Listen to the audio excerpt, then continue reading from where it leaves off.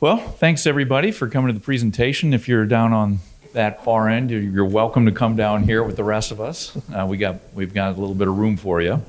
Um, but uh, I'll introduce myself here. My name is Lincoln Pearce. I'm a client executive with IMEG, and I lead our commissioning services group. I've got Heath Van Gorp and Pablo Benitez with us here, and they'll uh, be able to introduce themselves here in a few moments when they take over the bulk of the presentation that we have for you today. So we're going to be presenting a case study uh, about a campus rebuild project for an industrial project in, in Pella, Iowa. I've got a couple of um, um, introductory slides here. Um, so it uh, was a project that took place in Pella, Iowa, um, after a 2018 uh, tornado struck Vermeer's campus um, in, in Pella. It was a EF3 EF3 tornado that struck a couple of their facilities, and Heath will tell you a little bit more about that. So, um, questions are welcome throughout the presentation. We have uh, about a 45 minute presentation probably for you, and then we'll have time for questions at the end uh, as well. So, if you are interested or need continuing education uh, credits, this uh, presentation is CEU, um, as CEUs available for you. Uh, copyright there. Um, so, like I mentioned, just a brief summary of the of what we're about to present today uh, to you. Uh, in 2018, uh, July, a tornado came through uh, central Iowa and just happened to hit directly on Vermeer's manufacturing campus, which uh, as a result of that, there was a rebuild that occurred uh, immediately starting after the, after the event happened. luckily, there was no loss of life during, the, during the event, and shortly after um, cleanup started and rebuild started, and with that rebuild came new facilities, new systems, and uh, some lessons learned from the rebuild process and the commissioning that, that IMEG was um, brought in to help provide for the rebuild of the campus. So uh, without uh, further ado, um, we'll get to our learning objectives here and go through that and then get Heath and Pablo started. So uh, we got four main learning objectives for you here today. The first one, we're going to talk about displacement ventilation and using displacement ventilation and some of the unique challenges and design considerations uh, for design, uh, designing the system, and industrial system with uh, displacement ventilation and why that was a system that was selected. Um, we're going to talk about pressure control in an industrial facility and some of the lessons learned and some of the challenges that were encountered and resolved uh, with pressure control. Um, applying the commissioning process to uh, what you might call a non-traditional system. So there was an industrial paint line system that was included as part of this project that was included in the commissioning effort. And that's a unique system. It's not something you're going to find in IECC or ASHRAE or LEED, but uh, we'll talk about how we applied the commissioning process to the industrial paint line. And then, you know, Heath is going to help provide learning objective number four, which really is the lessons learned in the owner's perspective. I think for commissioning providers, in this group here, that's going to be really valuable feedback for everybody to get an understanding of from the owner's perspective, what did they learn, what would they do differently, what did they like about how the process um, took place on their project. So anyway, with that, I'm going to hand it over to Heath to introduce himself and Pablo, and they'll get uh, going on the bulk of the presentation. My name is uh, Heath Van Gorp. I'm the Director of Facilities at Vermeer Manufacturing. Um, I've been in the role about two and a half years, been with the company a little over 27 years. Um, great company based in Pella, Iowa, where uh, we do a lot of manufacturing. Um, we manufacture agricultural equipment, heavy industrial equipment, surface mining equipment, forestry equipment, long, a wide range of, of products. Some of them are very, very large. Some of them are really small. So we have to have a lot of flexibility in our, in our buildings and in our systems as well. Uh, as, far as myself, guys, uh, my name is Pablo Benitez. I'm a senior commissioning engineer at IMEG. I've been in the industry a little bit about, uh, above uh, 15 years, uh, primarily initially as a design engineer, now as full-time commissioning engineer.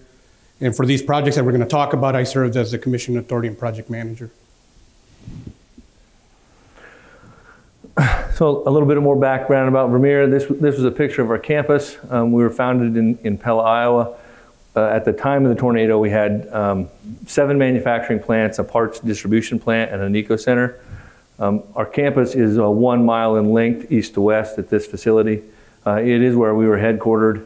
Um, and as a result of the tornado, we lost about 400,000 square foot of manufacturing.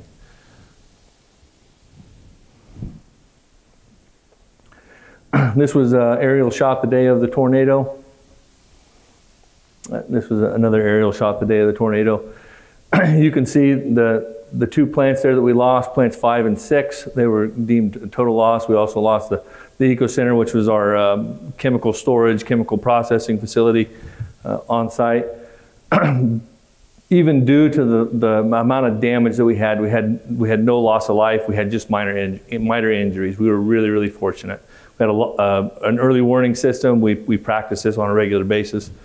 Really fortunate to, to not have anything uh, more major, major than just minor injuries. So the day of the tornado, our CEO uh, made a statement that Vermeer was going to come back stronger than ever. Um, we took that as a, as a directive from him that we were going to build a facility that took into consideration our, our future growth as a company, took into consideration the flexibility that we needed to, to supply all of the wide range of products that we build. We also wanted to build in energy efficiencies and just efficiencies in our manufacturing process. That was something that was really important to us.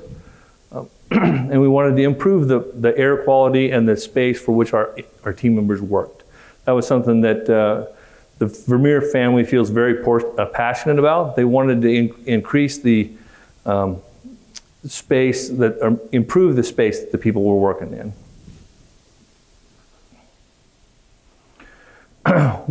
like I said, one of the main goals that they wanted to do was uh, improve the working conditions. Uh, so we decided to do a tempered air system inside of a manufacturing facility. That's something that is really, really uncommon for facilities of this size. Um, there's a lot of challenges, and there was a lot of uh, questions as to how to accomplish some of those um, goals. So knowing that we're a heavy manufacturing, we bring in raw steel, we ship out uh, finished goods. Uh, and we, in this facility, we estimated we were going to burn about 300,000 pounds of welding wire annually, trying to condition the space, trying to um, make it energy efficient, and also meet some of the safety standards that go along with some of the manganese levels that were coming through. Um, and we wanted to do this without having to put uh, special weld helmets on top of our employees. And we wanted to do it without having uh, fume ex- extraction through snorkel systems. That, that inhibited our flexibility in the space.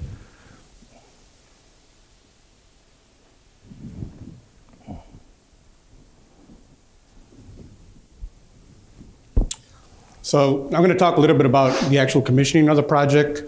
Um, again, it a was a 500,000 square foot facility, uh, manufacturing plant. Uh, but one of the challenges from a commissioning standpoint is that it was really more of a mixed use type of scenario. So um, before I kind of start talking specifically about the systems, I'm going to talk a little bit about well what what was in this facility. So you can kind of see this this diagram here, the different areas of the building. And if I kind of walk you guys through it, one of the things that's pretty interesting is not just the different areas, but you could see these connecting tunnels. So there's another plant adjacent to this uh, new plant where the process, the, the flow of the process starts off. So scrap metal comes in from this uh, legacy, what, what's the name of that? Legacy 7. Legacy 7. Scrap metal comes in here, goes into the um, welding area. That's where they go ahead and they start doing some of the welding. From there, it moves into the paint shop. That's where they do the painting. That's where the paint system is in. And we're going to talk a little bit about as part of this presentation. From the paint shop comes back out into the assembly area. That's where they assemble the parts, you know, in conjunction with some that, that are delivered in, in the warehouse, you know, products that are not manufactured there but purchased and part of the final product. And then ultimately in the assembly area, goes back out through final inspection. So that's another pseudo paint area where if there was any scuffs on the, on the final product, that's where it gets touched up before it finally goes out, um, out the door. So those are, those are the different areas. So now in regards to those different areas, what, were, what are the different requirements in terms of temperature and relative humidity or indoor air quality? Because again, you know, we're commissioning, we're talking about HVAC here. So as you can see, um, like Heath mentioned, you know, the, the spaces were tempered. So this is 500,000 square foot area, which traditionally is 100% outside air, 100% exhaust, and typically only heated and ventilated.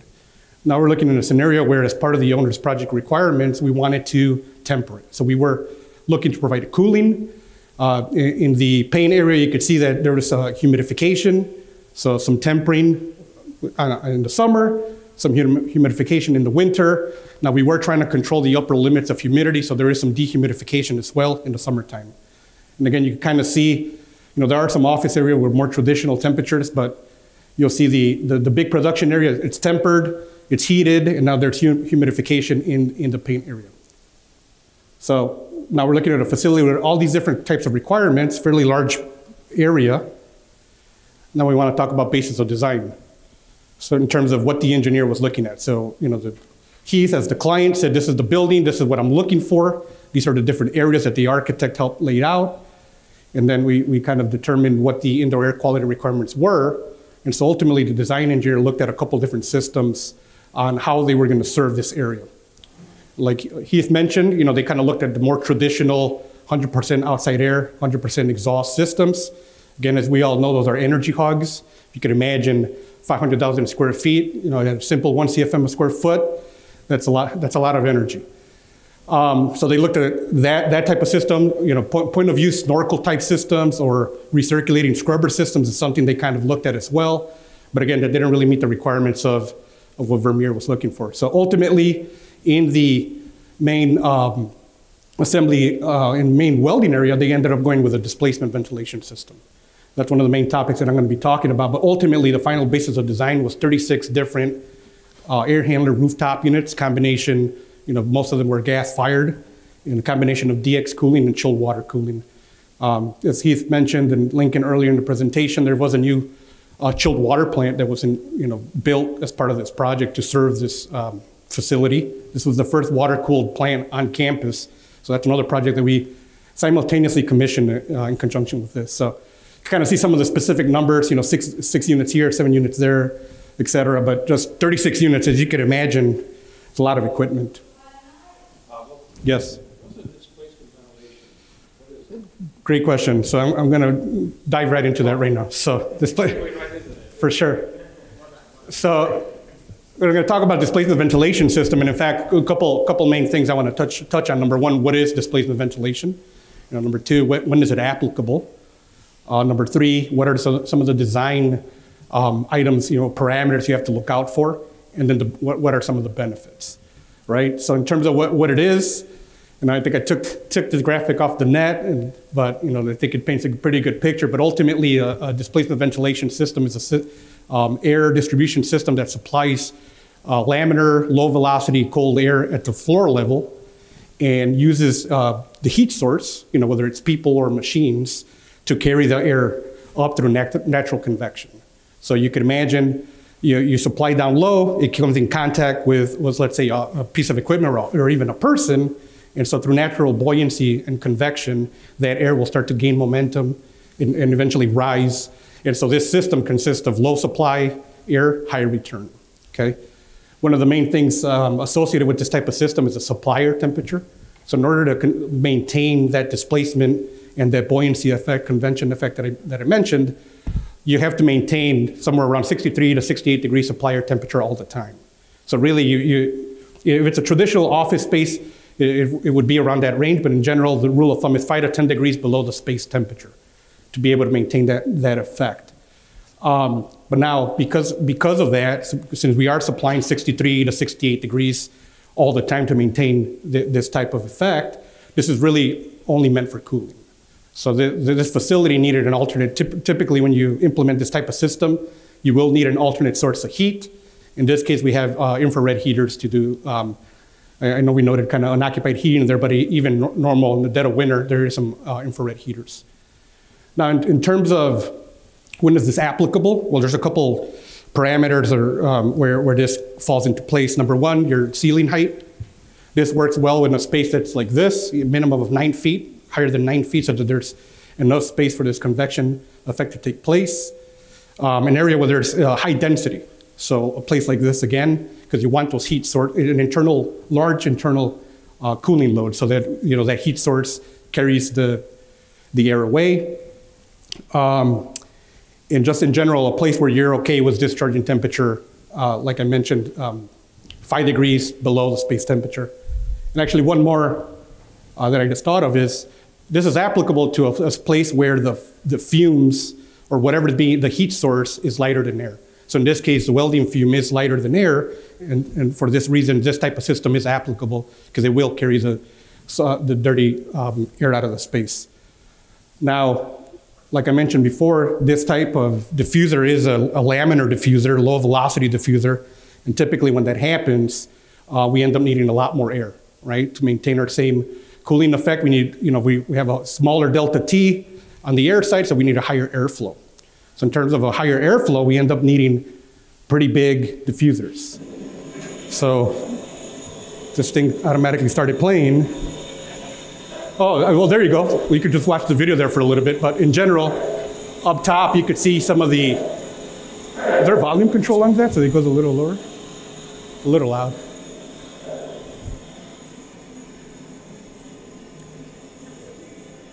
That's good.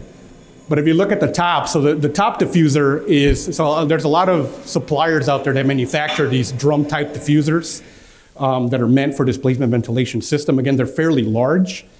And in terms of the, you know, the welding area, that's, it's, uh, you know, the space is real estate. There's a lot of people in the space, there's welding machines, so implementing this type of diffuser um, was, would be challenging. It's gonna cover the space where all the welding equipment is gonna be at, it was intrusive.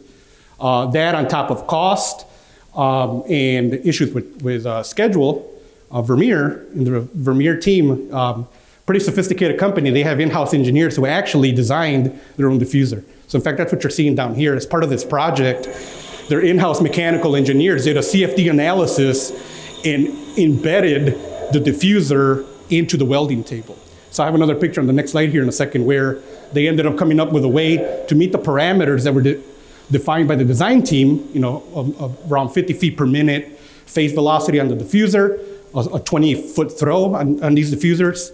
And ultimately, they did some CFD analysis. They put together a prototype. They tested it, and you know, we all kind of said, "Okay, green light." And so they went ahead and manufactured those. Um, and one of the other things that you know, the good thing about this diffuser that Vermeer uh, designed, be nice if we designed it, but I want to take the credit there, is that this, this one adds flexibility. There's some perforated plates there where as you start to increase the CFM, pressure drop's going to start to increase. Well, go ahead. Um, is that smoke being used with, on the uh, prototype for testing, or is No, that, that's it's a smoke test that, they, that was performed. So as you look over here, that picture to the left, that's the final product. So in that welding area, all the supply diffusers are coming down vertically along the column, um, and they're part of the welding table. So now, uh, you know, there's a, there's a welding wand that people go and grab, and they work a couple feet away from that uh, supply diffuser, but ultimately it, it ended up working uh, pr- pretty slick, actually. So there's a bunch of these. Those are about 2,000, 2,200 CFM uh, per diffuser. The- uh, returning the, your welding smoke, how are you cleaning that? so Charcoal filters or? So good question. So that's the next part I was getting to. So You No. So what I what I said was that this one here, if if we get to a point, this one in particular, right, because it has a fixed open area, if we start in the future if they wanted to increase it, because that, that was one of the one of the reasons why they started looking into going for a different diffuser. Is if for whatever reason, instead of the 2,000 CFM that was calculated by the design team, because really really the unknowns were, you know, how much how much uh, welding fume was going to be produced, and so the idea is that with this type of design, since it's, it's really just open and it's just baffles that's kind of pushing the air rather than in, increasing pressure up that duct, that we could get a little bit more air out of this if we needed to in the future. As of right now, though, we're still you know uh, uh, operating under normal design conditions, which was a 2200 CFM. So same CFM on both both of them. So to your question about um, recirculating air, so again, you know, we, so there's a lot of CFM in the space, and so what do you do, you know, what do you do with the air? Are we gonna dump it? You know, that's a lar- large energy waster. So, you know, these are uh, dust collectors. So they, so this return air goes through a dust collector. There's MERV 15 filters in that dust collecting system. And so you can see, the, so the, these are, this is all the welding area. So these are all the units in the welding area. Uh, so you can see up here, you know, the, the supply is down low, exhaust is up high, comes up through a return fan that's in the dust collector, and then um, discharges it to the suction side of the return fan that supplies it back into the air handling unit. Now, again, this is one other interesting thing that we had to look at from a commissioning standpoint, you know, dust collector systems. You know, what, what is a dust collector system? How do you commission it? Um, other than a fan and a filter and differential pressure control, there's a couple other um, uh, systems, house systems that are connected to it. You know, there's a compressed air system that gets connected to that for cleaning purposes. So, you know, we, we had to test that. Um, there's uh, uh, fire protection for connection for in case there's a fire. Um, there's solenoid valves that have heaters on here to make sure that the solenoid valves don't freeze in the middle of winter. So again, just interesting process about having to commission this, not to mention integrate it into the BAS, right? Because you, you have to set a pressure limit. Once we get too high and the, those filters are no longer being cleaned by the compressed air, we want to make sure that we're um, replacing those filters. So just in general, I want to check how we're doing on time here. Might be running a little halfway. long. Okay. So uh, just a couple quick ones, lesson learned before I move on to the next uh, topic here. Oh, and actually, here's the other side of the of that unit, where the was a return fan back to that rooftop unit is. 36 rooftop units. It's a lot of equipment. So really scheduling uh, and simultaneous testing in different areas was really the approach that we ended up taking. You know, a lot of pull planning meetings, a lot of, in fact, we instead of just typical commissioning meetings, we sat in in the construction meetings. Uh, when we were when we were knee deep in it, we were having meetings every day, uh, trying to figure out how we were going to um, schedule everyone, where we were going to position everyone, because ultimately a lot of these units back in here, if I go back to this area here, these six units here, the displacement ventilation system, and then the seven, six, six plus one more unit up in the assembly area, operated as a system. So physically, it was six and seven different units, but the pressure control scheme, which I'll get to a little bit later, required these to all operate as a system. So what I mean by that is they all start up together, they all ramp up together, they're all doing the same fan control. The only difference would be on the discharge temperature control, they have their own stat. So again, some of the issues that we ran into, airflow calibration I listed, that's not necessarily typical of this type of building. That I think uh, from commissioning standpoint, we run into that a lot, but here, even more important uh, to make sure we had that working. Dust collection I talked about. I'll just mention one other big one here before I move on. I'm not gonna go through all of these, but um, the uh, gas heat section of, of these units, um, in particular the ones that were serving the paint area, are, were indirect fired makeup air units. So there was a discrepancy on what the design team thought they were going to get from a turndown standpoint and what we needed. So those were 25,000 CFM units. Now typically, go ahead. Did you say direct or indirect? Indirect. They were indirect. Yes, they were indirect. So typically, you know, I think a lot of times we kind of look at turndown, we look at the supply fan, we look at the VFD and say, oh, you know, how, how low do we think we're going to get that? Obviously, here on a, uh, on a gas-fired piece of equipment, you know, there are limitations associated with the gas-fired section. So uh, design, from a design standpoint, they assumed that we could get as low as 8,000 CFM from a 25,000 CFM unit. Um, we got way less than that. You know, even if, once we contacted the manufacturer and they came out and did a couple modifications on the baffle plate, did a couple modifications on the controls and the differential pressure on the gas line, we were only able to get 15,000 CFM turned on, 25 to 15,000. So differential pressure. So the previous talk, I talked about you know temperature and humidity. Now differential pressure is a big big item here, right? So it's a big, really big warehouse, but since we have a paint system and we have this whole area here that has welding and dirty air, you know, pressure control is crucial. So the design um, was, was based on, on this uh, diagram that you see here. Everything's kind of negative to the welding area, paint area, since we have paint system painting going on. We don't want any dirty air going that way. Paint goes positive this way, everything should be getting pulled out this way.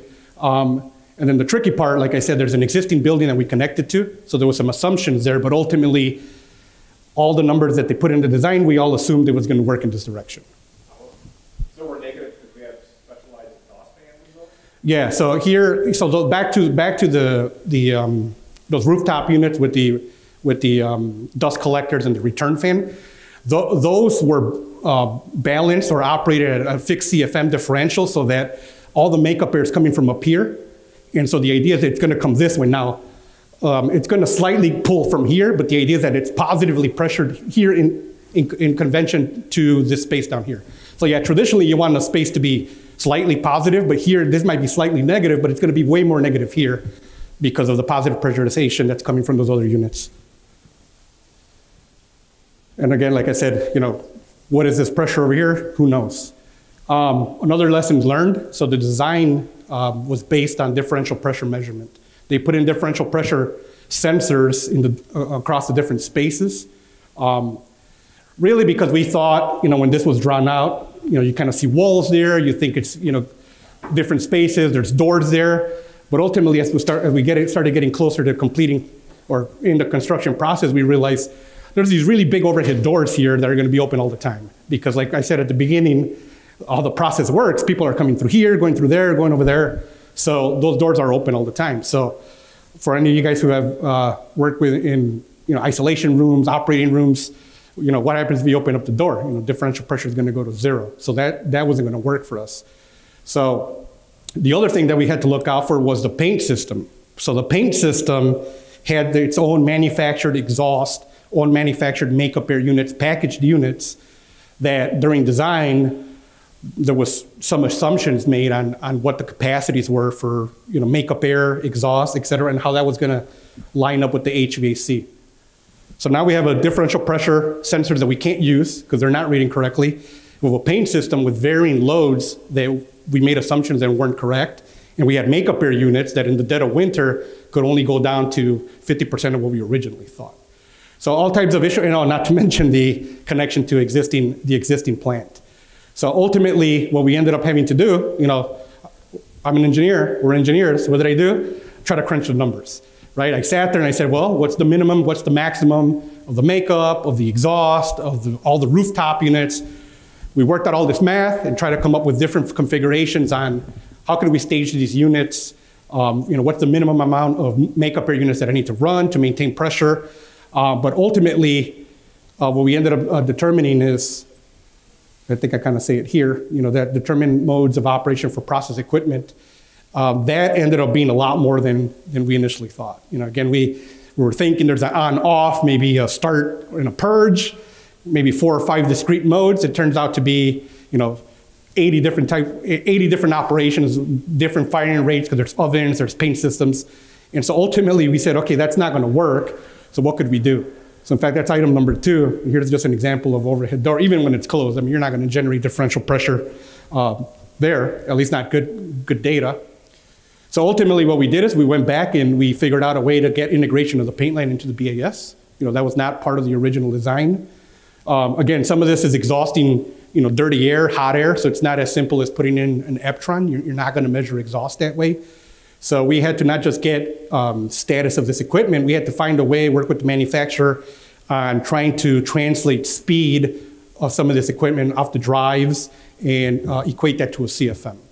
And so ultimately what we ended up doing here um, is maintaining pressure control from, uh, on a CFM offset basis. So what I mean by that is uh, we're getting readings on all the exhaust on the paint system, and then we're modulating the house HVAC systems to make up for it based on CFM control. Uh, on, on pressure wise?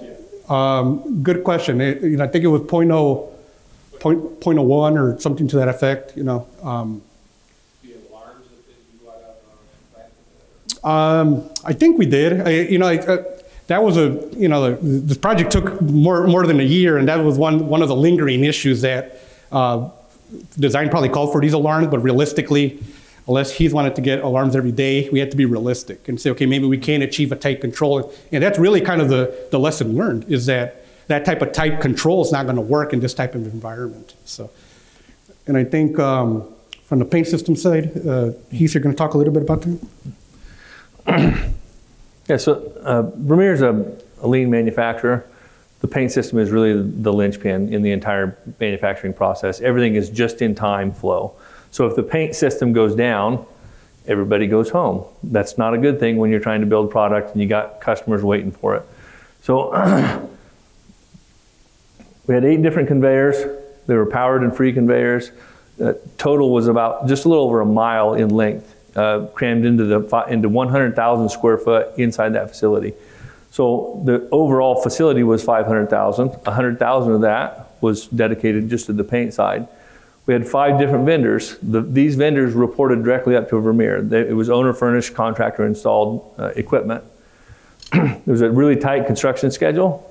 We were trying to get this thing up and running um, before the building was actually turned over because we had to have this operational in order to move some equipment out of the existing legacy building into this building and trans- transfer without having a, a massive shutdown of our production.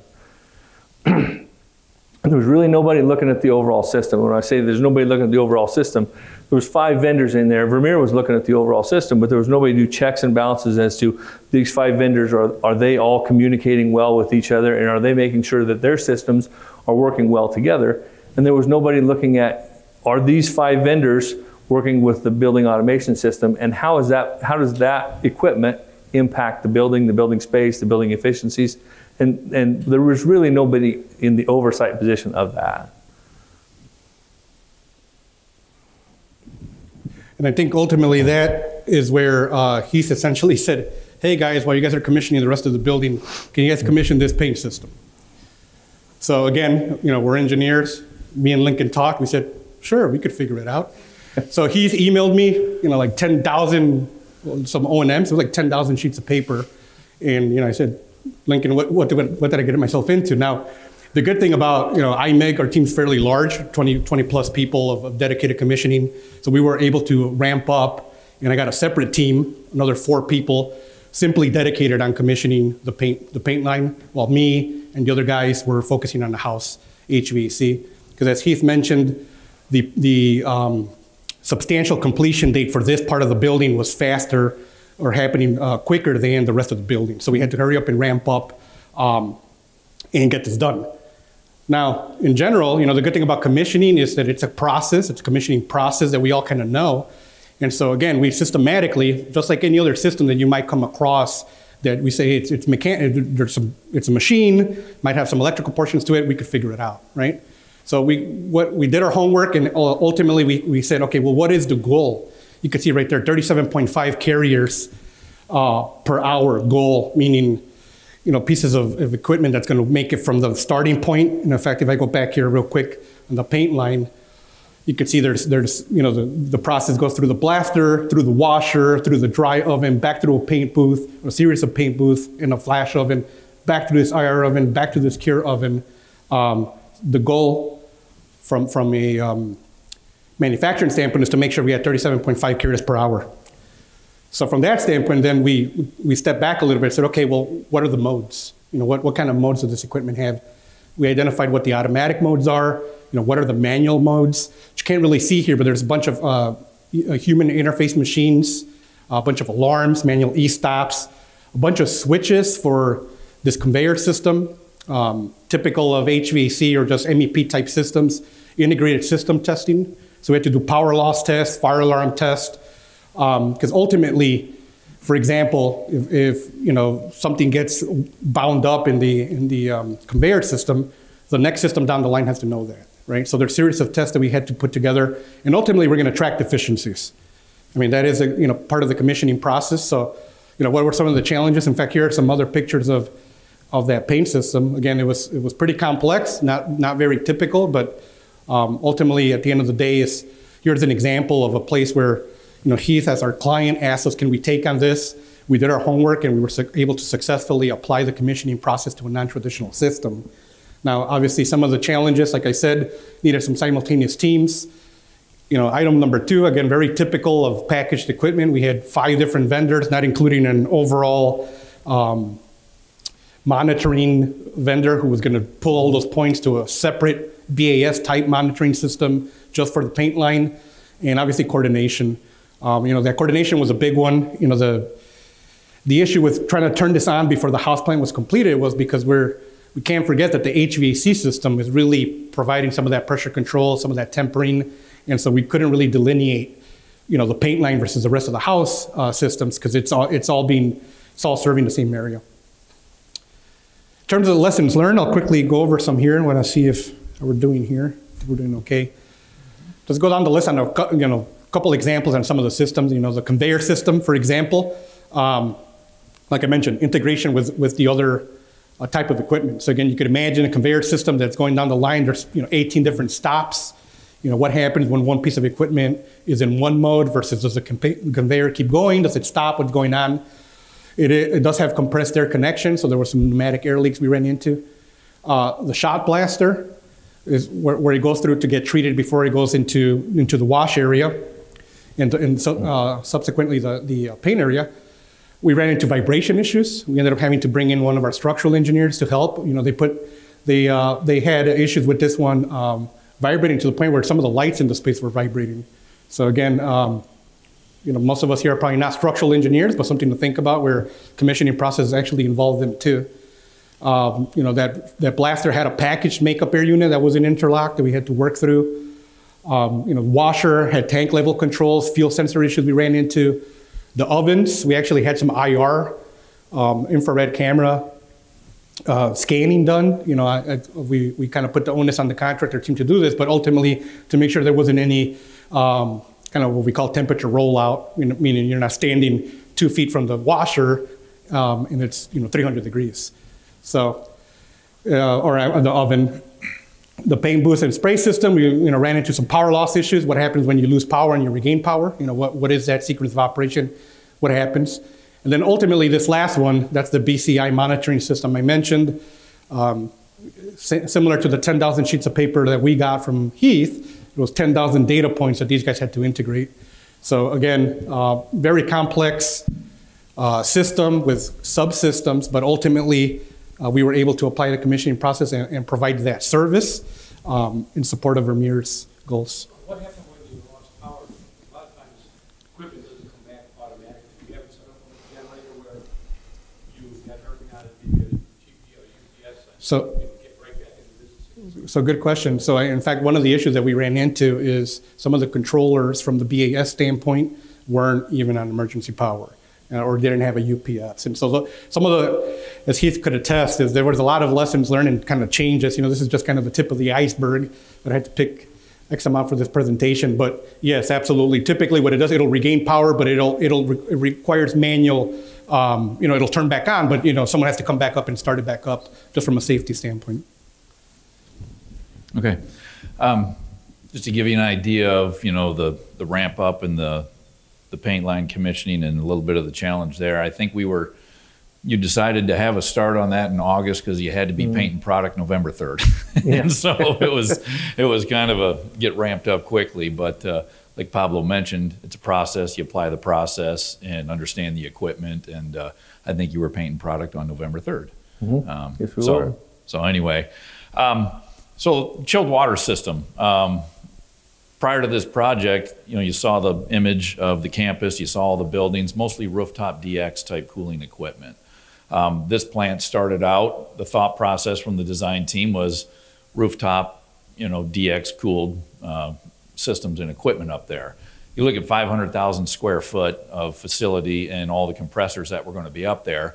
Was actually a local vendor who was pricing out that option who said, why don't you take a look at the chilled water plant?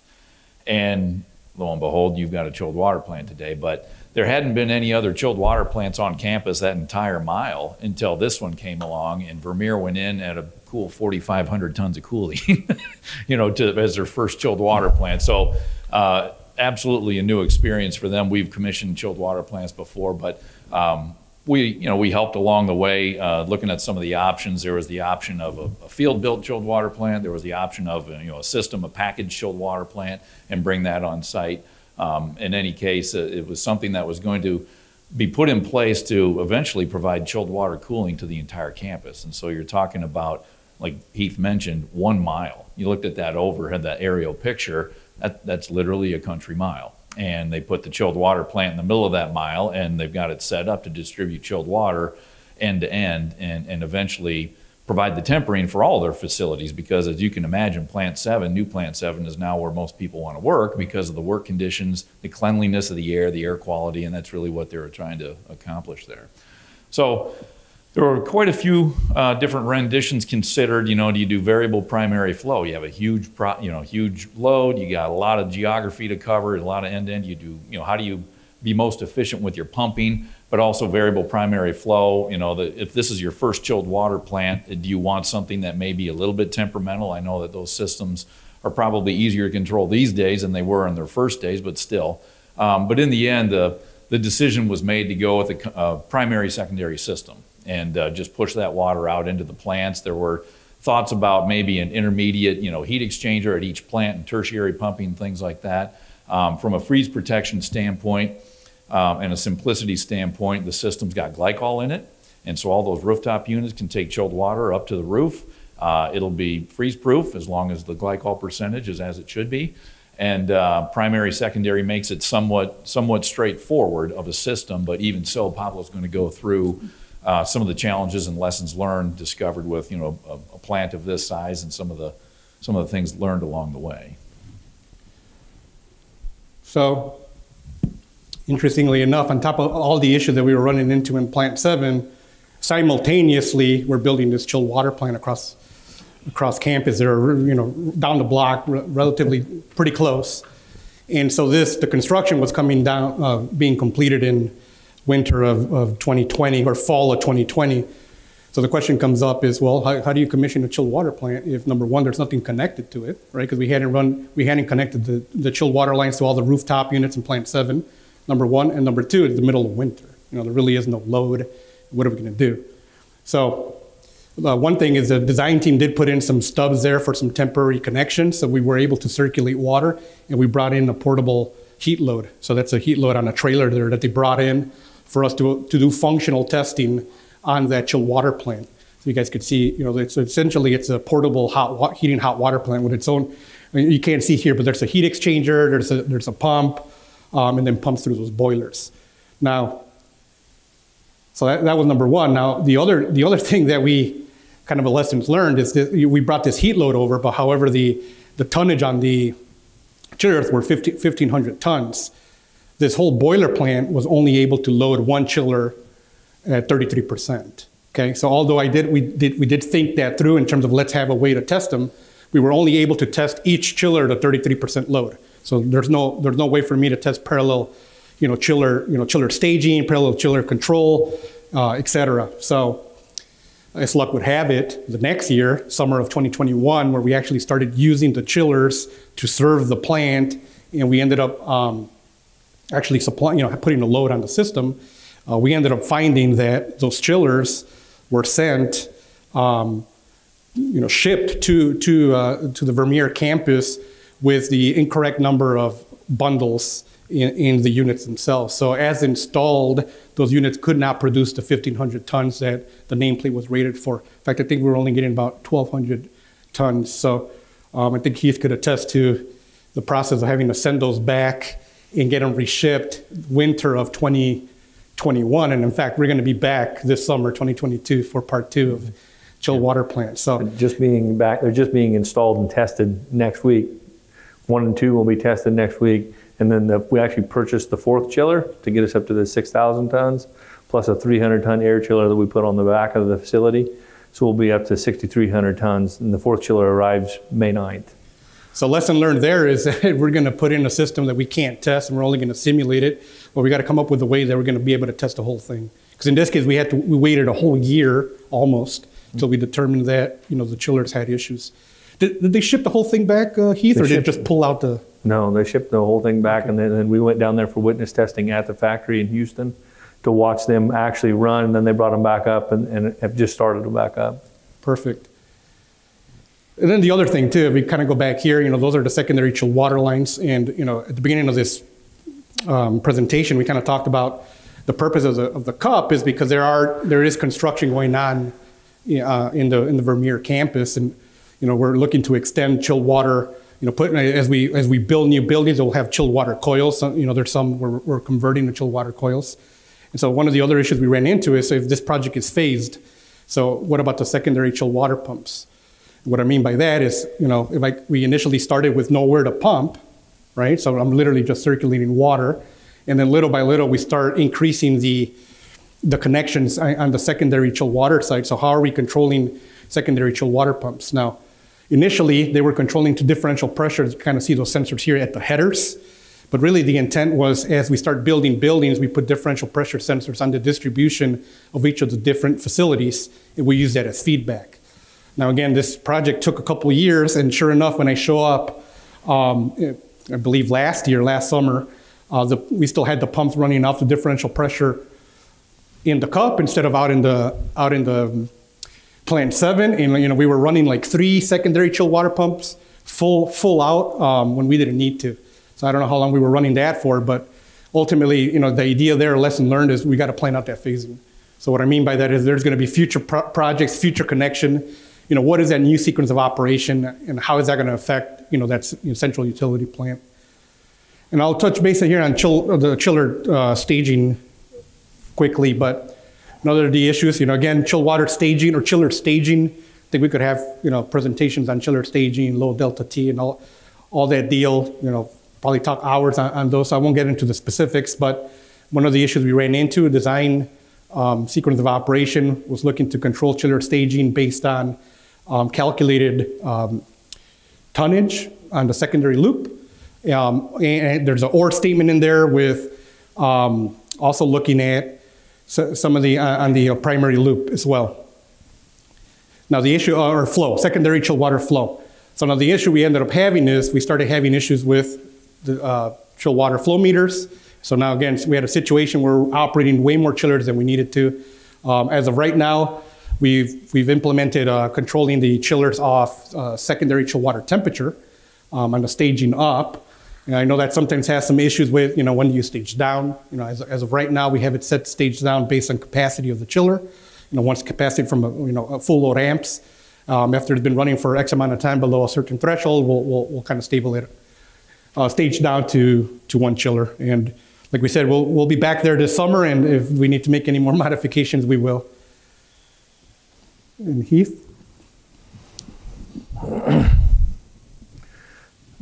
So the value of the commissioning, uh, if we didn't get it from Pablo, all the uh, issues that we've had, right? The system was designed and there was no ill intent. It should have worked. But when you actually start operating a system, there's just variables that you can't account for in the design.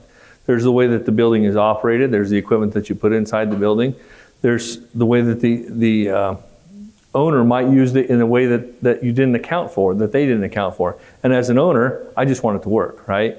I, I need it to work. I got product I got to put out. I got people that I got to keep happy.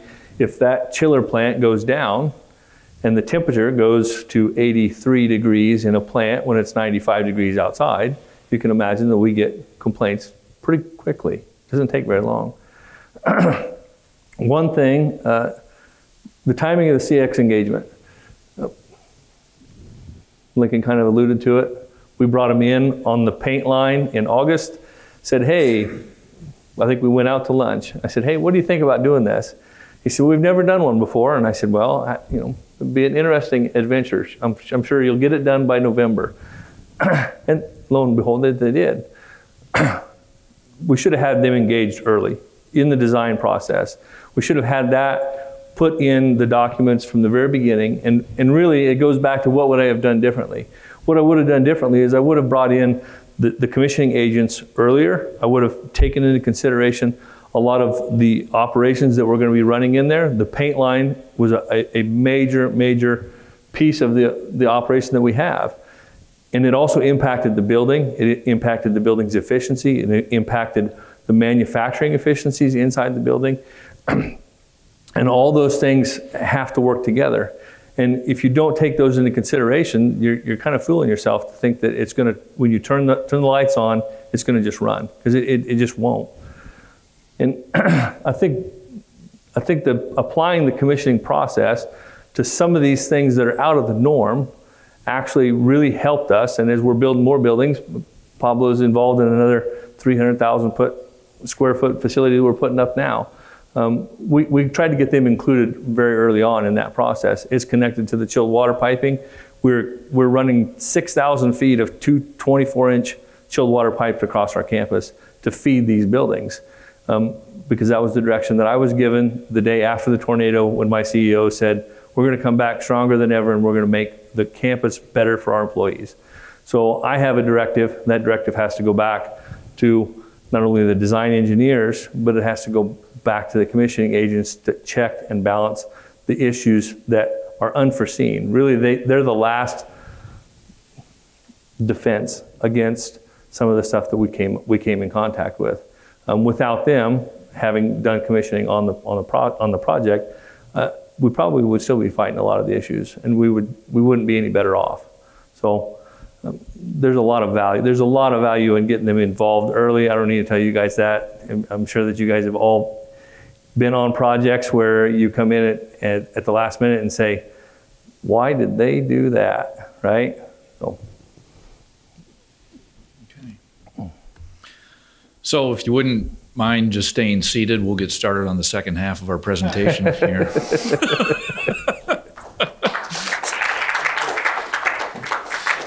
So, Any questions for the group? Maybe it's more of a manufacturing question. For uh area that has uh, like painting stations, is there a special consideration for humidity in those areas? Or is it kind of the same, just forty to sixty is good? We want the hum- we wanted humidity in that space in the wintertime because we use electrostatic paint. So i- if you don't have humidity in there, you run the risk of, uh, of an explosion. Yeah, so that, that area was humidified, so that's one of the things they briefly, you know, they didn't get into the specifics, but there were humidifiers in all the air handlers serving the paint area. Well, one lesson learned about humidification, air handlers, and smoke detectors is put the smoke detectors upstream of the humidifiers. So, Um, so talk about your scope a little bit. It sounds like you were brought in late for post-design review. Was it also post-submittal review? And were the chillers OFE, you can purchase them? I'm just trying to figure out the gap on the bundle. So, so good question. So the, the chiller itself, you know, the, the, the um, shop drawing showed the correct product. I mean, it showed, it showed the correct nameplate information. You know, it showed 1,500 tons. Just physically is where they got it wrong. And so I think we did go back to um, the manufacturer, which I won't mention, and I think they ended up saying it was something to the effect of one of their internal, you know, they have a selection program they use too, and something to that effect that when they, there's a mistake in there, because I, I think we asked about, and maybe Heath, you remember, about whether or not this issue's happened before, because I said, how is that possible that your selection program is incorrect? Did they say that? Uh, I don't It know if I hadn't, remember. happened, it hadn't happened before. We Okay. were the lucky ones. Yeah, but I think I think what they were saying though, had we not caught it, they're potentially There are, were been others. shipping these chillers incorrectly to other places. So Are they paying for all the contractor rework as well, not just the product coming in? Vermeer's not paying for it. No, I want to make. Somebody else. Yeah. in the far back there in the corner, you had your hand up there. From uh, Vermeer, did you see improvement or able to catch the data before with all the rooftop DX units and now chilled water? It's got to be some investment in savings and return. None of our none of our manufacturing facilities before had cooling on them. Yeah, yeah.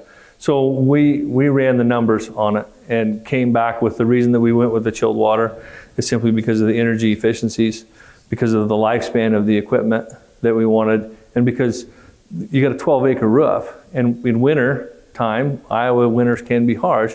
I didn't want to have my guys up there trying to do maintenance or service work on that. Plus, it's it's a um, it's a TPO roof. So if you have a compressor go down in the middle of 12 acres, i how do you get it out of there, right? You can't get equipment up there. We, we looked at gantry cranes, we looked at all kinds of different things. And, and ultimately, it come back to we put the chiller plant in because it was expandable. So we got 6,000 tons. We can expand that to the rest of the campus, and we felt like that was the right decision. But we didn't have we didn't have actual data. It was just all running off the numbers. Multiple businesses. Yeah. We had a question here at the end of this table. I was just going to ask about factory testing on the chillers. I don't know if you guys mentioned that at all prior to getting to the site. on the on the original ones, it, what Heath did mention that the, the second time around they were out there for the factory uh, chiller testing. Now initially, do you know there was a factory chiller testing? I know we personally weren't part of that. I, I wasn't I wasn't originally part of that. Sure, sure. So yeah, that's a good question. I mean, at that point, maybe they would have caught it Early if you would have done the original one. for sure. Yep, that's a good point. Yeah, a question here. Yeah, on the uh, commissioning the paint system there. So I was want manufacturing. Is there a global sequence for how that assembly line is supposed to work, and then you dive into each of the individual components once you understand that, or is it just sections of systems, and you guys had to assemble all that and figure out how to make it work? So that's a good question. So, uh, so Heath, uh, from a Vermeer standpoint, so th- there was no design, so this was fur- you know furnished through Vermeer. They did have some of the, some of his staff who runs the paint line kind of kind of gave us guidance on what's the overall sequence of operation. In fact, that's where that goal of the you know X amount of pieces of equipment. In fact, I think he's you've mentioned to me earlier that we're exceeding that now by like three or something per hour.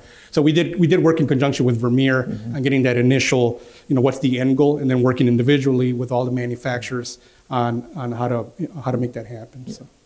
So, um, just something about the paint line. Something that's really interesting about that paint line is so that paint line uh, it has code readers on the top of it. So when you load a part on there, it, you manually scan that in, and some of those parts go through the blaster, some of them don't go through the blaster, and they all they're all tracked throughout the through that entire mile. So you can tell where that part is at any time in that in that uh, process, and that's important because you have people in the assembly that are waiting for that part. So you have to make sure that it comes off. So part of the, the problem that we had was to make sure that those things tracked accordingly and made sure that it picked up the points. And, if we lost power and it come back on, we still had to know where those parts were. Otherwise, you're just running blind. And you got a mile worth of parts that nobody knows where they are. What do you do in the shoulder season when your chillers are down and you get a spike in temperature when you get the right cooling? How do you counter that? Was the reason for we, we put the air chiller on. We put the air chiller on the back. It's a 300 ton air chiller. We also run process loads on that. So we have another building that's out back. They run a lot of dyno testing. And so we put uh, heat exchangers on the dyno equipment to where we can pull the heat loads off of there. Um, and then, like I say, in the in the one day out of the year in March where we get a nice day, which seems like that's all we're getting right now, um, we'll, we'll turn the air chiller on. Yeah, I just put through up the, the eight different conveyors, and, and one of the challenges with the commissioning I remember is just the timing and the interaction because you're going from one conveyor to the next, or maybe another one, and and the timing of of the mm-hmm. speed, you know, for each one of those are all separate. Yeah, they run. They all run at different speeds. They're power and free conveyors. Some some of them run at 16. Some of them run at eight, and then they ramp back up. And how do? You, And there's multiple different lines. So there's two lines there now, and we can add a third line, and then we can add a powder coat line off to the side. So how do you? How are you able to track where that's all going when they're running at different rates? They're running in different locations, and be able to come back. And and the guys who worked on that, I mean, Pablo was the project manager, and, and we were involved, but we did have a team that came in from our Phoenix office, and they, um, you know, they're they're not big on public speaking, so we're speaking for them. Uh, but they they really they, they really figured it out and did well with it, and so we were um, we were pleased, and you know Heath was pleased, and, and so credit where it's due. All right. Perfect. Thanks, Thank you, guys. everybody.